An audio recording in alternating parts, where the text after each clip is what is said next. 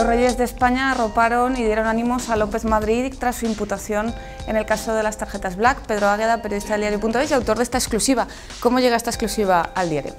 Bueno, esta información es una información de, tribunales. hay un sumario abierto eh, en realidad hay dos causas abiertas eh, por un caso presunto acoso de acoso sexual de López Madrid a una médico madrileña. Eh, después de que él sea imputado por ese acoso sexual, él pone otra denuncia y es imputada la doctora en otro juzgado y ese juzgado requiere en un momento dado el teléfono de López Madrid para conocer cómo se ha desarrollado, qué pruebas hay de ese presunto acoso, de ese cruce de acusaciones.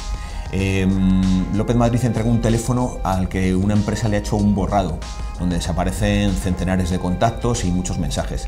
Pero la jueza se lo entrega a la Guardia Civil y la Unidad de Delitos Telemáticos recupera una parte de esos mensajes. Esos mensajes eh, no tienen eh, en su mayoría una relevancia para la causa que está investigando la jueza, pero como es preceptivo, aparte del informe que hace la Guardia Civil sobre los mensajes que sí tienen interés para ese presunto caso de acoso sexual, pues entrega el bruto de todo lo que han recuperado. Y ahí en, ese, en esa parte del sumario, que ya no está bajo secreto judicial, hemos encontrado los mensajes que publicamos hoy.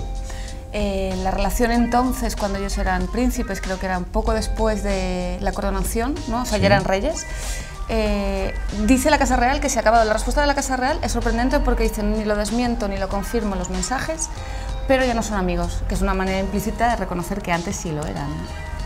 Es notorio que, Javier López Madrid, que es un empresario casado con Silvia Villarmir, hija de uno de los hombres más poderosos del, país y, que además López Madrid viene de una familia pues, también de acaudalados empresarios, es amigo del rey Felipe VI desde hace muchísimos años. Una amistad que se trasladó a, la reina, a la hoy reina de España, eh, cuando comenzó su relación sentimental con, Felipe VI. Una, amistad que ponen de manifiesto los mensajes que hoy publicamos. Pero más allá de eso, eh, es cierto que nosotros sabíamos que esa amistad eh, se había congelado, al menos públicamente, por indicación de, personas que rodeaban al rey y que le habían hecho le habían trasladado que era necesario bueno, pues que se apartara. ¿Por qué? Porque López Madrid aparece primero en las tarjetas Black, luego en el sumario del presunto acoso sexual a la doctora que hemos mencionado antes y últimamente, y un caso que acaba de empezar y que va a dar mucho que hablar, la presunta financiación irregular del PP madrileño, casi 2 millones de euros en dinero negro, eh, investigación que está dentro del caso de la operación Púnica y que todavía está bajo secreto y del que vamos a saber en los próximos meses muchas cosas.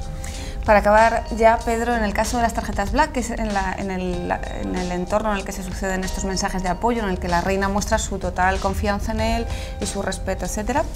Eh, ¿de qué está, ¿Por qué está imputado López Madrid en el caso de las tarjetas Black? ¿Qué hizo supuestamente que la reina y el rey apoyan sin fisuras? Eh, López Madrid, en el momento en el que se producen los mensajes, no está todavía imputado porque en ese momento el juez Andreu se dirigía eh, principalmente contra Miguel Blesa, Rodrigo Rato y Sánchez Barco, las personas más destacadas de la dirección de Caja Madrid y Bankia durante los años de los gastos con las tarjetas opacas al fisco. Pero meses después imputó a todos los usuarios de esas tarjetas. Esa imputación eh, se ha, se ha trasladado en el tiempo hasta eh, la apertura de juicio oral que ha pasado recientemente, en la que ya sabemos que López Madrid, con el resto de los usuarios de las tarjetas Black, se va a sentar en el banquillo.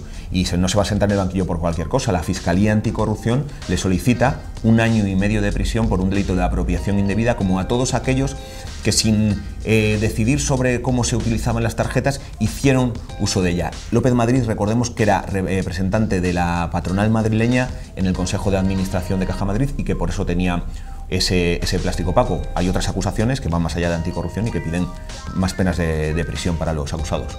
Pues muchísimas gracias Pedro Águeda por este análisis de esta exclusiva del diario.es. La puedes seguir esta información, la información política, la información social en el diario.es.